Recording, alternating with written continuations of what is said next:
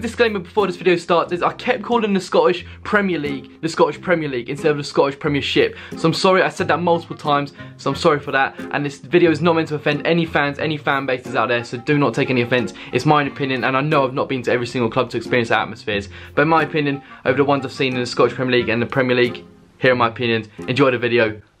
Mon the atmosphere. How's it going everyone? Welcome back to another video channel. Today we're going to be talking about the Scottish Premier League fans and the Premier League fans in English football. Now this comparison is being made because it's brought to my attention that I've been to a few Scottish games and I've obviously been to a load of Premier League games. So why not make a comparison and talk about the Premier League fans and the Scottish Premier League fans? I mean, I think we should do that. It's been highly requested from the Scottish Premier League fans and it's been highly requested from the Premier League fans and why not bring it into this video and explain to you guys what one's better. Before we do that, if we can smash 150 likes on this video, subscribe to the channel if you're not already and this is not meant to trigger anyone so please do not take any any um, backlash or hate from this, please. Thanks. And I think I should start off talking about the Premier League. Premier League fans tend to be quite boring if I'm being honest with you. Until you get to like the bigger so-called clubs like Aston Villa, they're, they're, that's a team I'd say atmosphere-wise, they're a 10 out of 10 home and away. That's a proper club with a proper atmosphere. Everton's atmosphere is also top-notch where they do have a good home and away following. Now as much as I hate to say it, Crystal Palace do have a good following in terms of atmosphere too, if I'm being totally honest and neutral here. Now saying Crystal Palace involves one thing and that is a group they've got which no other club really do have. Now Palace, as much as I hate to talk about them, They've got a good following behind the goal, the Holmesdale fans, and they've actually got a proper group to make atmosphere. Other than that, the Premier League doesn't really offer, any other club trying to create a sort of some form of group for that. But what about Palace's group? They have a group as well as like Celtic, Rangers, in the Premier League there's only really Palace. But I don't really want to be talking about Palace if I'm being honest, so let's just move swiftly on to the group part. Celtic have got a group, Rangers have got a group, and obviously Palace have got a little group in, in obviously the, the behind the goal. But in the home ground as an atmosphere whole, I just don't see anyone beating Rangers and Celtic in the Premier League. Liverpool in the Champions League night, maybe it's a different story, maybe it's a bit up there, but I mean, Rangers, Celtic, I just can't see it being beaten. Now one thing we've got to mention is how toxic Scottish fans are compared to English. Now I've been to three games in Scotland this year and it's fair to say that every single one involved some sort of conflict with verbal swearing. But when I say verbal swearing, to the extent where it's like, Jesus Christ, this is continuous. Every single second when the player's on the ball, you're just giving him abuse. Don't get me wrong, it happens in the Premier League too, like there's so much swearing going, on, going along, but when it comes to the Scottish fans, they have no chill. I've learned that from Aberdeen and I've learned that from Motherwell. When Aberdeen went 2-0 down, it was a toxic place, chairs were being broken. To be fair, I don't even know what half the Scottish people are saying most of the time, to be honest. Yeah, we smack it, I don't, I don't even know. But let's put it this way, from experiencing three Scottish games, I knew that was a bit more extreme than the English swearing, let's put it that way. Now if we talk about limbs, Hearts isn't really in that category because we're in the home end, we weren't really amongst, well we kind of were, but it wasn't really limbs, let's put it that way. I've been to two Rangers games and Rangers both times, it was carnage. Oh, look at the limbs.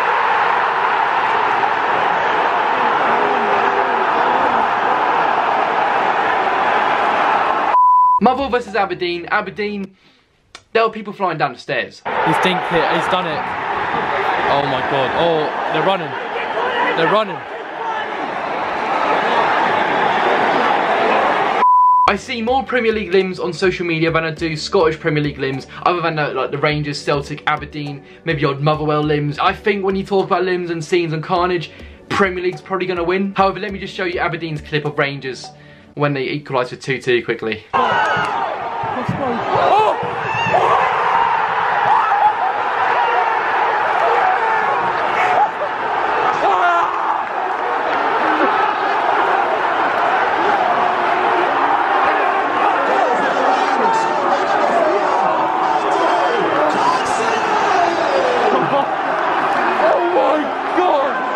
I've been to a lot of Brighton games in the Premier League, and obviously um, we have our, we have a, we have a few games where it's obviously limbs limbs too, but nothing to the extent of that. Aston Villa best limbs in the Premier League. Don't even you can't compare it. Maybe Chelsea at Arsenal, that was absolute carnage. I must admit. Tottenham at Arsenal, carnage. And some derbies you get in the Premier League, that's also limbs too. And I just think when you talk about Premier League limbs, it's a, it's a lot more stronger than the Scottish ones. So it's so difficult to balance out who has the better fans. However, overall, like this is a difficult situation. Rangers, Celtic, Aberdeen and probably Motherwell do carry the whole of the SPFL league. in terms of atmosphere. However, I've never been to a St Mirren game. I've never really seen, you know, Kilmarnock, St Johnstone, you know, all of them sort of teams, and it's not, and I can't really put a comparison in until I've been to all of them teams. However, I am basing off the teams I've seen already. If this is compared to Scottish limbs versus English limbs, I think it's a different story because I'm only doing the Premier League and the Scottish Premier League too. So if it was all round English I would probably go with the whole Football League atmosphere is better than the SPFL. Because let's face it, it's uncomparable. When you've got teams like Lincoln, you got Coventry, you got Ipswich, you've got all of these big teams, Bolton, it's absolute... In terms of trying to create an atmosphere, I would have to go with the Scottish Premier League. If you've got to go with like trying to get an atmosphere going, you've got to go to the Scottish Premier League with the with the associated groups of the certain clubs where they're trying to get the atmosphere absolutely sorted. And in some some games and some um, some some teams, they do have the atmosphere sorted. Premier League, there's a lot of libraries, and I'm not gonna lie, Brighton's home atmosphere is nothing special. It's not me having a dig at the club, it's generally just not good. Yeah, there's some games where it's absolutely electric, but realistically, it's not the best. There's so much room for improvement, and there's just so many clubs in, in the Premier League, like Bournemouth, you've got you got Leicester, you got Tottenham, you've got She uh, Sheffield United is actually not too bad, I don't think. Southampton, Burnley, West Ham, you know, they're, they're not creating good enough atmospheres like the Premier League, Scottish Premier League is. What we've also got to know is, the Scottish Premier League, there's minimal teams. Premier League, there's a lot of teams.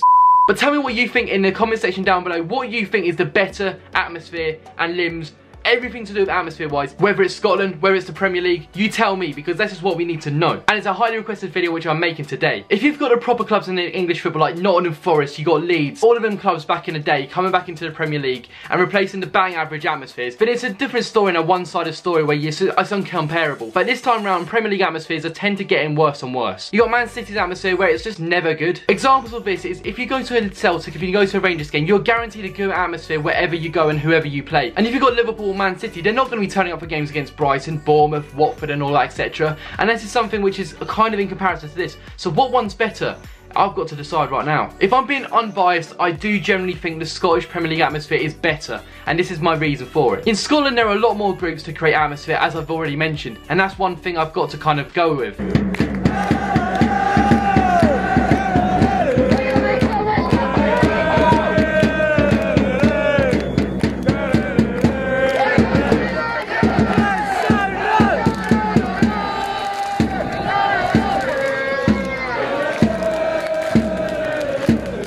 Secondly, the limbs in Scotland I think are better.